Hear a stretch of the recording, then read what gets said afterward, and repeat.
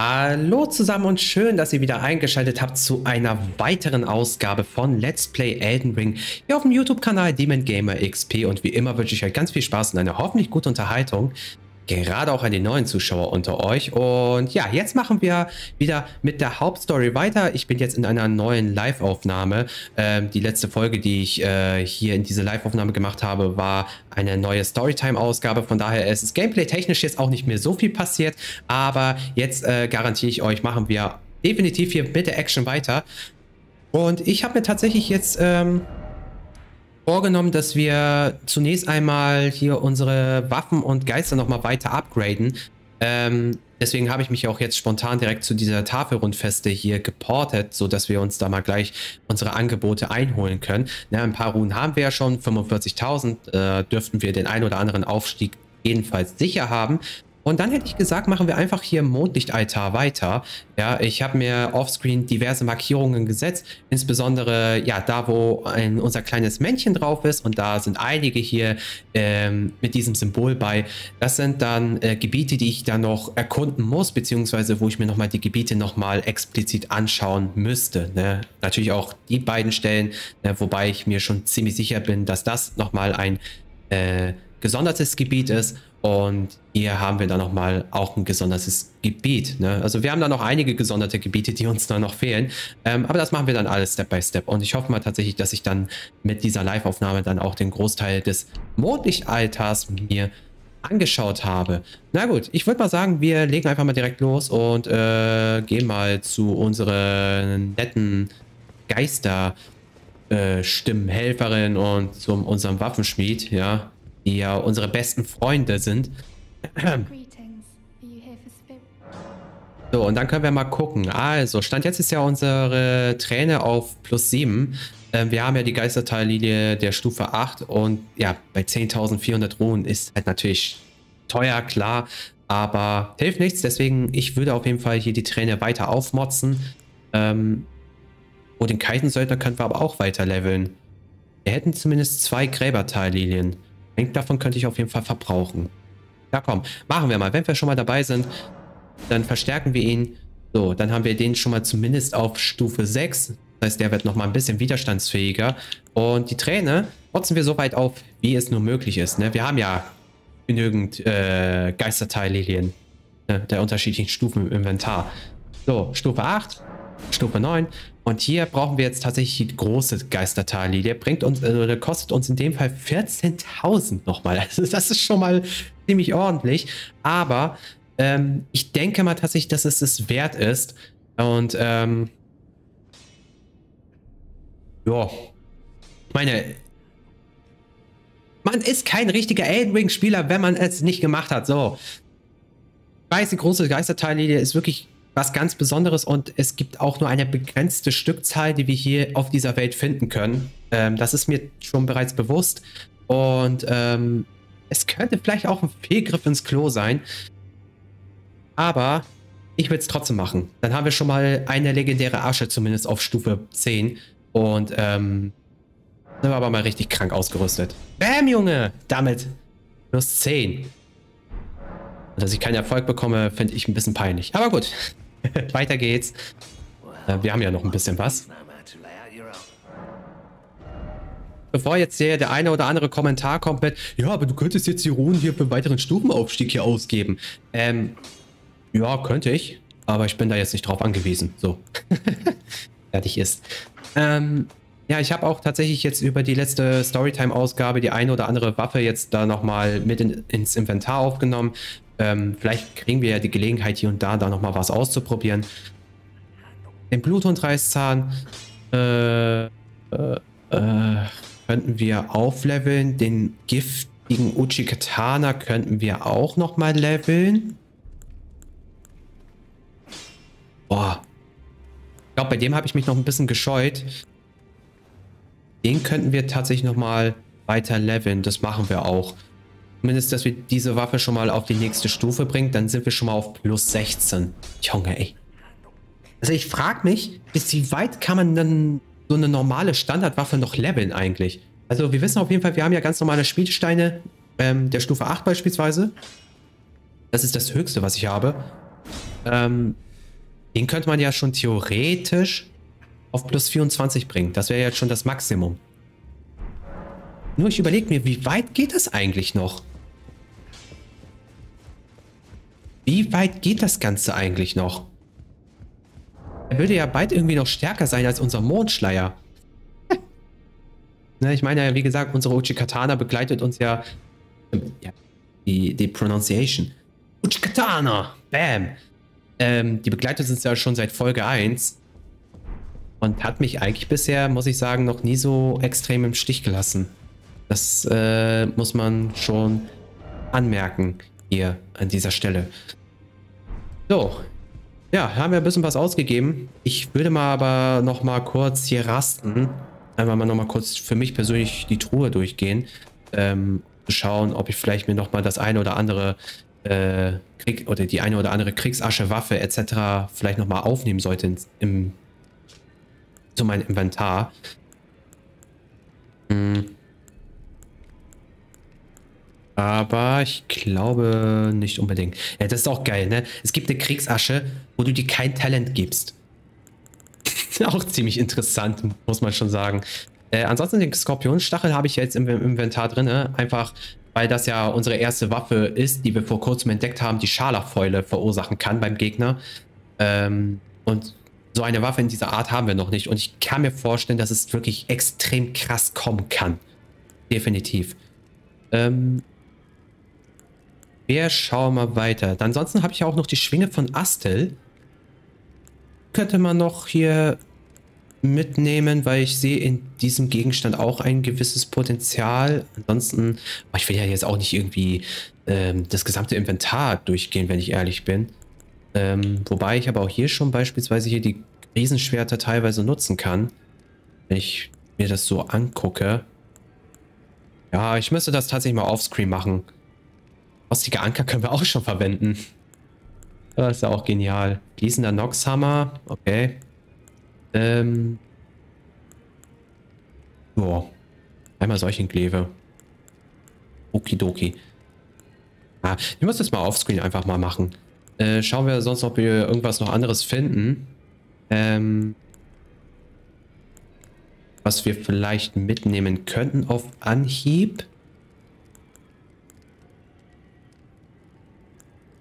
Denke mal, mit dem Meteoritenstab sind wir ganz gut bedient. Wir können den Stab des Todesprinzen mitnehmen. Ich glaube, der ist jetzt nicht unbedingt besser als... Nee. Bei weitem schlechter als der Meteoritenstab. Bei weitem schlechter. So ein Schilde, würde ich sagen, sind wir eigentlich momentan ganz gut aufgestellt. Das können wir so belassen. Äh, eine Rüstung ist mir das eigentlich auch jetzt relativ latte. So. Ach nee, warte mal. Sauber. Aber da müssen wir mal ein bisschen uns befassen, weil ich habe da jetzt äh, über die Storytime-Ausgabe, Moment, wo habe ich jetzt mein Sternlicht, ähm, zwei neue Zauber hinzugefügt, die wir jetzt ausrüsten können. Äh, entweder Heimers Kanone, ähm, explosives magisches Geschoss in einem hohen Bogen, welches normalerweise 25 Weisheit erfordert, aber naja, durch unser, unsere momentane Ausrüstung sind wir ja ziemlich cool aufgestellt. Ähm, müsste mal kurz gucken. Könnte das nehmen und stattdessen tauschen wir einfach mal die Schimmerstein-Diesel aus. Und das andere, was wir haben, ist die große Orakelblase, aber die ist für mich jetzt nicht so interessant. Ähm, hallo Finn, cool. Ich habe dich schon vermerkt. Nur wie gesagt, ähm, bei einer Live-Aufnahme ähm, gehe ich nicht so sehr auf den Chat ein. Das mache ich dann im Nachhinein. Aber ich habe dich schon wahrgenommen. So, dann machen wir weiter. Haut mich jetzt einfach mal hier hin. Weit haben wir jetzt eigentlich alles gefrühstückt. Dann können wir mal gucken. Also ich habe aber, um ehrlich zu sein, jetzt auch nicht so wirklich einen Plan, wie ich da jetzt am besten weiter vorgehen sollte. Ähm, ich würde einfach mal sagen, wir laufen jetzt einfach mal die Strecke entlang, weil den Abschnitt haben wir ja soweit noch gar nicht erkundet. Ähm, hier dürften wir, glaube ich, alles mitgenommen haben. Bin mir aber nicht so sicher. Ähm, ich versuchte auch tatsächlich hier jetzt die Be Begegnungen mit diesen komischen Bazillen hier mit sechs Armen und riesige Tentakeln hier zu vermeiden. Weil die so ätzend sind. Also, die Geisterrufer sind ja schon ätzend genug. Da ist ein großer Bär. Nee, das ist ein kleinerer Bär, oder? Ist das ein großer Bär? Das könnte... Nö, das sieht ja nach einem kleinen Bär aus. Na komm, den holen wir. Na komm, Süßer.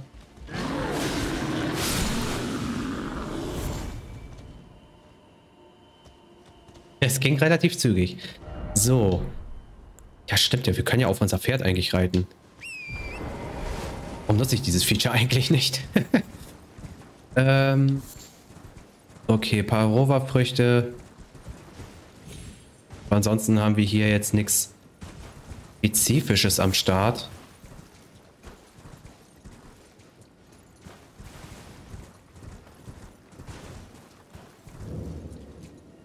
Ja.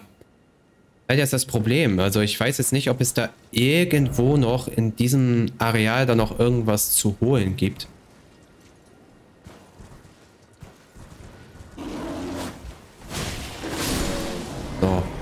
Machen wir dich erstmal zu Bärenfutter. Nee, Moment mal. Jetzt weiß ich, wo ich stehen geblieben bin. Deswegen habe ich mir auch diese Markierung gesetzt. Ne, wir haben ja zuletzt äh, einen Steinschwertschlüssel benutzen müssen, um uns diesen einen Gegenstand hier noch äh, zu krallen, die ich mir jetzt noch gar nicht äh, eingesammelt habe. Stimmt. Und hier müssen wir jetzt auf jeden Fall noch mal kurz rein. So,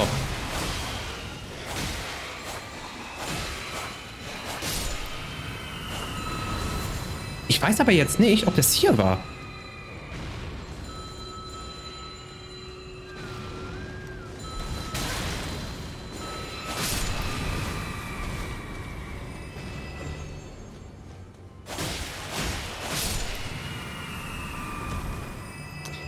Okay, da sind jetzt momentan auch keine Gegner für uns. Aber es waren auch nicht die gewesen. Ich glaube, das war hier hinten.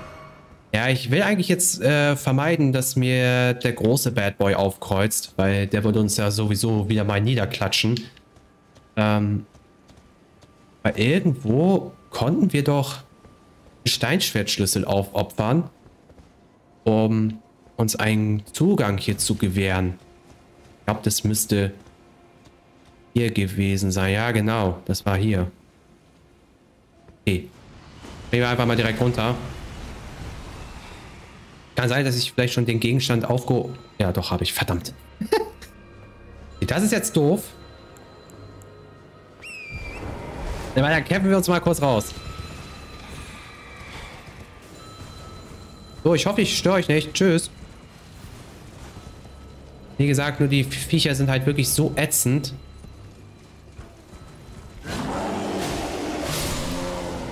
Brauchst du hier jetzt nicht zu brüllen. Hey, will gerne dein Material haben. Wenn es dir recht ist. Äh. Das ist halt jetzt die Frage. Ich kann jetzt auch nicht die ganze Zeit hier so mich im Kreis bewegen. Bewegen wir uns mal ganz kurz ein bisschen weg vom Fenster. Ich stelle mir so ein bisschen die Frage, ob es hier noch irgendwas gibt, was man da noch aufheben könnte.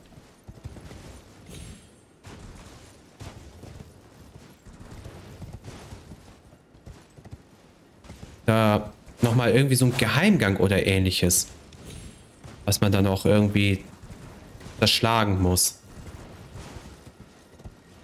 Weiß ich auch, was in dieser Truhe drin war. Na, da war dieses äh, Himmelsbernstein-Medaillon gewesen. Dieses Plus 2, was wir schon bereits aufgenommen haben. Ah, und da ist die. Da ist die Oberzicke. Die kann von mir aus aber auch gestohlen bleiben. Insbesondere seit unserer letzten Begegnung hier mit... Hä? Oh Gott. Ich habe gesagt, ich will mich nicht mit dir messen, okay? Lass mich in Ruhe. Mal, ich will mal kurz das Ding mitnehmen. So, nein! Ich, ich will nichts mit dir zu tun haben, ja? Ist ja gut. Hey! Willst du, mich, willst, du dich, willst du dich eigentlich wirklich jetzt mit mir anlegen, oder was? Wo ist sie denn? Hä?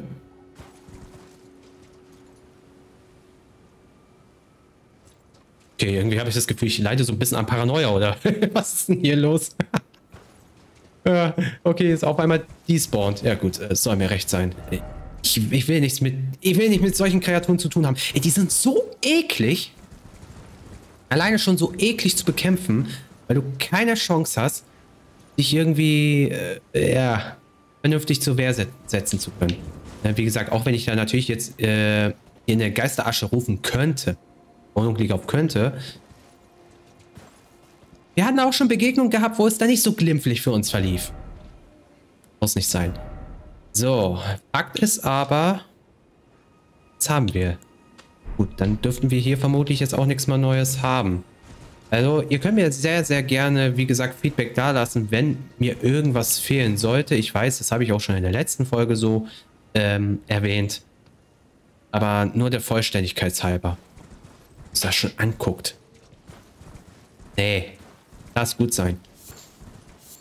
Boah, ich habe ja schon Paranoia von der letzten Begegnung.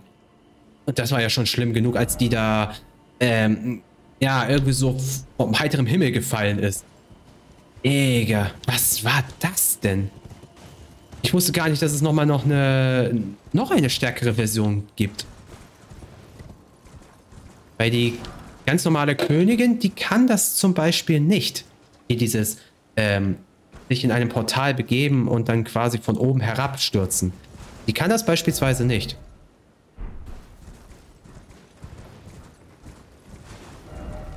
Na gut, also scheint tatsächlich so, als wäre da jetzt nichts mehr Spannendes bei, wenn ich mir das Ganze schon mal anschaue. Ja, wir können ja mal ganz kurz zu diesem Lichtstrahl hier hinlaufen. Ich dachte, der würde äh, uns irgendwas zeigen aber demnach so nicht der Fall. Na gut, äh, ich gucke mir nochmal ähm, ja, nochmal ein Teilstück an, nämlich das hier. Und dann, wenn ich da auch nichts mehr finde, dann folgen wir einfach mal dem Pfad weiter, würde ich jetzt sagen. Wir haben ja noch den kleinen Abschnitt da oben, wo wir uns auf jeden Fall noch begeben können. Und dann düsen wir mal in diese Richtung hin. Es ist irgendwie ein bisschen ungewöhnlich hier in diesem Mondlichtaltar, dass wir da halt nicht so viel finden. Ja, sei es halt Materialien oder neue Gegenstände oder ähnliches. Also bisher hält sie sich noch relativ zurück, was die Ausbeute hier angeht. Ich hoffe mal, das steigert sich natürlich je weiter wir voranschreiten. Ne? Aber man muss ja auch natürlich sehen, Mondlichtaltar ist ja auch schon ein recht kleines Gebiet. Verglichen mit Leonia beispielsweise. Vielleicht sehen oder haben die Entwickler dieses Gebiet jetzt auch nicht so als so krasses Gebiet gesehen, dass man da jetzt extrem viel erkunden müsste, sondern einfach nur als ähm, Mittel zum Zweck, um da die Story von Ani voranzuschreiten. Weil letzten Endes machen wir ja das ja, ne? Also wir verfolgen so ein bisschen die Rani-Quest, mehr oder weniger. Und die hat uns ja bis dahin hierhin geführt. Gehe ich mal davon aus. Aber jetzt, da wo Rani leider nicht mehr unter uns weilt, anscheinend, ähm, ja, haben wir nur eine leere Puppe.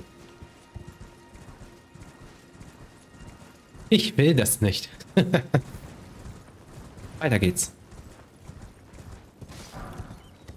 Menge Schädelchen, die wir auf jeden Fall zerschlagen können.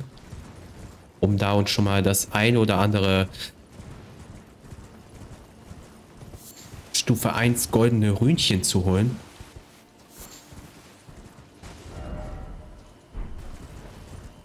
Breit ist da auch nichts, ne? Nicht mal eine Höhle oder ähnliches. Ich sag euch, das ist wirklich einfach nur so, so ein normales Gebiet,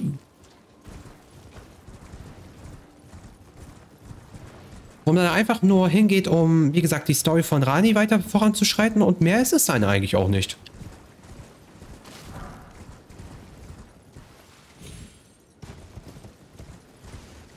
Wäre auch irgendwie nicht, nicht so wirklich von der Klippe stürzen oder so.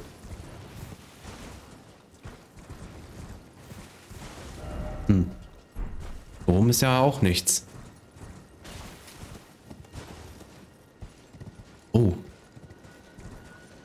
ist da wieder so eine zerstörte Kirche oder soll denn das sein?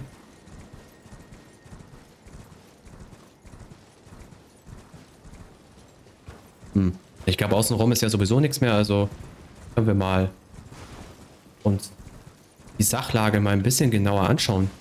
Was ist das?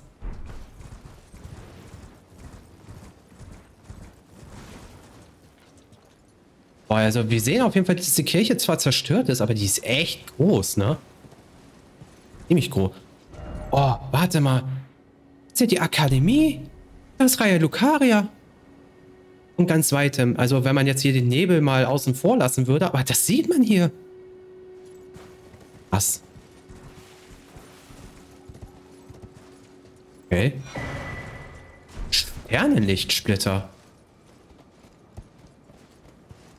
Hm? Okay. Kathedrale von Manus Celles. Noch mehr Le äh, Sternlichtsplitter. Warte, warte, warte, warte, warte, warte. Einmal, ich muss mir mal ganz kurz Licht machen, weil wir sehen jetzt nicht so viel. Überall Sternlichtsplitter? Tatsache. Überall liegt ein Sternlichtsplitter? Okay, das wirft schon sehr, sehr viele Fragen auf.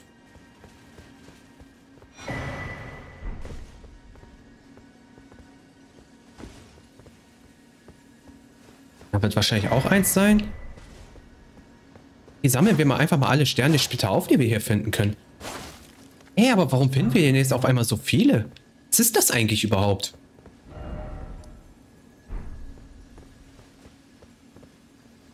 Ziemlich komisch. Wir haben aber auch eine verlorene Gnade. Okay, wir, wir setzen uns einmal ganz kurz hin.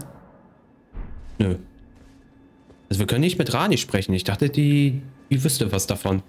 Na gut, wenn es sowieso eine leere Puppenhöhle ist, dann kann man ja eh nicht viel von erwarten.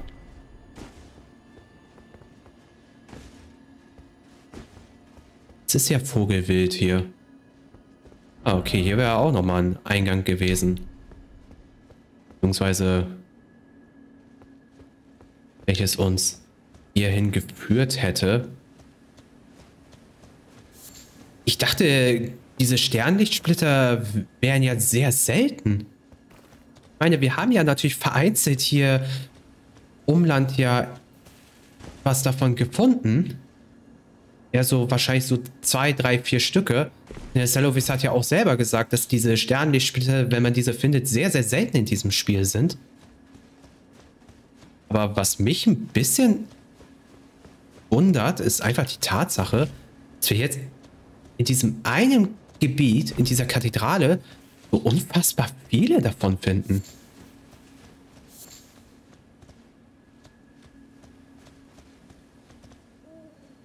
Es ist komisch.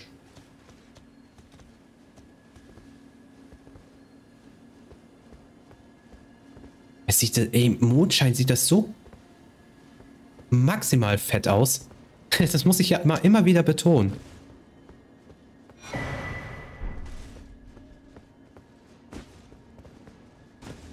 Ich stelle mir so ein bisschen die Frage, warum findet man denn jetzt so viele davon? Glaube, wir haben jetzt wie viele entdeckt? Neun Stück. Neun Stück allein in dieser Kathedrale.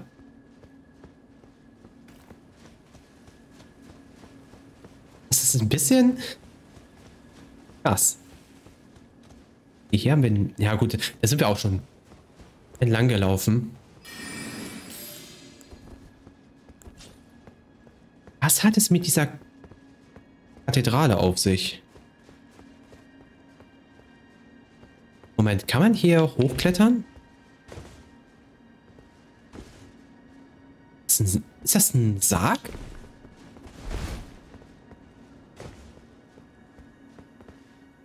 Könnte ja schon danach aussehen, als wäre jemand begraben worden. Das sind ja noch mehr. Mehr Sternlichtsplitter. Wird verrückt. Wir haben jetzt schon sogar so viele, dass äh, vereinzelte jetzt äh, sogar ins Inventar gelandet sind.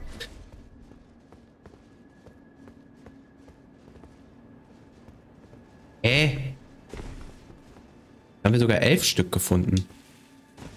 Nur in diesem Gebiet.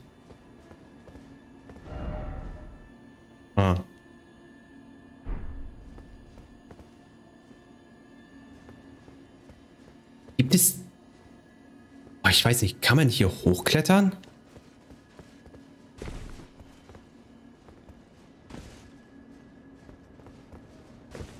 Ja, es ist tatsächlich jetzt mal wieder so eine Folge, wo man da ein bisschen mehr erkunden muss. Aber mich würde ja schon interessieren, ob man da irgendwie noch weiter hochklettern kann oder nicht.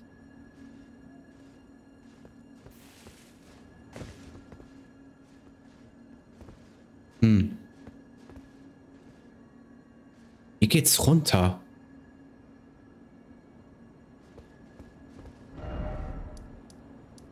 Okay, krass. Ja, würde ich, denke ich mal, vorschlagen, gehen wir das Ganze hier einfach in der nächsten Ausgabe an. Ähm, gut, ist halt jetzt natürlich in dieser Folge jetzt nicht so viel passiert, aber wir wissen halt natürlich jetzt nicht, was uns da unten erwartet. Und wenn da ja schon eine Gnade hier vor unserer Nase steckt, dann kann es halt schon sehr, sehr gut sein, dass hier eventuell ein Bosskampf auf uns wartet oder ähnliches.